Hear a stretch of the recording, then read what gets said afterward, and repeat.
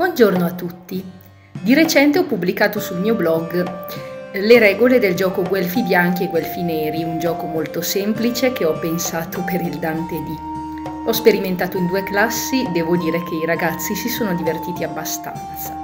È un gioco che può genericamente ricordare Dante e la sua vita, o può anche trasformarsi in gioco didattico nel momento in cui eh, si spiegano ai ragazzi i collegamenti tra i personaggi del gioco e la vita di Dante e magari anche le differenze tra il ruolo che hanno nel gioco e il ruolo che hanno avuto nella vita del poeta.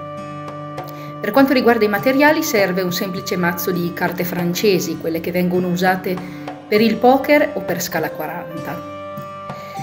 Um, ehm, il gruppo di giocatori deve essere molto numeroso perché deve dividersi in due squadre, i guelfi bianchi e i guelfi neri. Come vedrete è abbastanza simile a Lupus in Tabula se non per il fatto che eh, è ambientato nella Firenze dei tempi di Dante. Ai guelfi bianchi vanno distribuite carte dal seme rosso, ai guelfi neri le carte dal seme nero, però con l'accorgimento di includere le seguenti carte speciali. Il re di quadri è Vieri de Cerchi, il capofazione dei guelfi bianchi. Il re di cuori è l'imperatore Enrico VII, nel cui arrivo Dante sperava ardentemente. La regina di cuori è la famosa Beatrice. Il fante di cuori è proprio il nostro Dante Alighieri.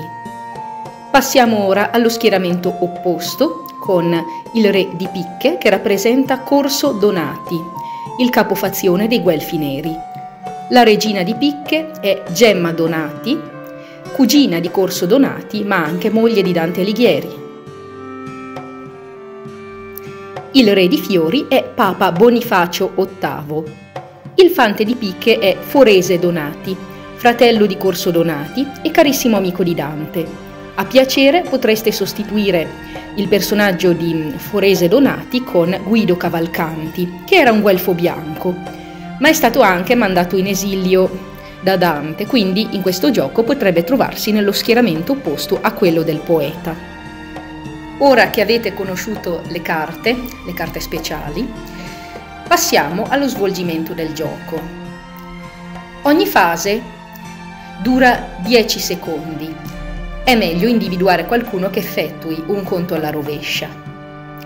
Durante questa fase ciascuna delle due squadre eh, deve decidere eh, quale membro dell'altra squadra mandare in esilio, escludendolo dal gioco. Ovviamente, almeno in una prima fase, il gioco è totalmente alla cieca, perché all'inizio nessuno sa quali carte abbiano in mano i giocatori della squadra avversaria.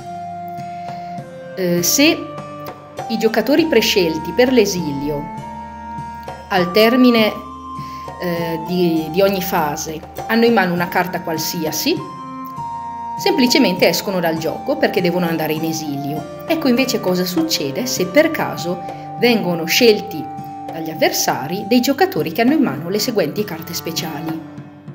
Se i guelfi neri scelgono il guelfo bianco che ha in mano questa carta, beh, questo significa che è stato esiliato niente meno che Vieri de Cerchi, il capofazione.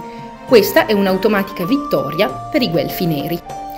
Se i guelfi bianchi, per caso, hanno scelto il guelfo nero che ha in mano questa carta, questo significa che è stato esiliato Corso Donati, il loro capofazione. Questa è una vittoria automatica per i guelfi bianchi.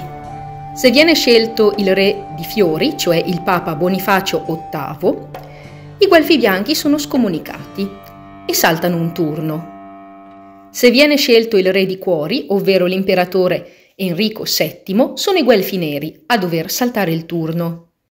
Se viene scelta la salvifica Beatrice, beh, lei rimane in squadra e se qualcuno dei guelfi bianchi è stato esiliato, lei può richiamarlo dall'esilio e farlo tornare in gioco.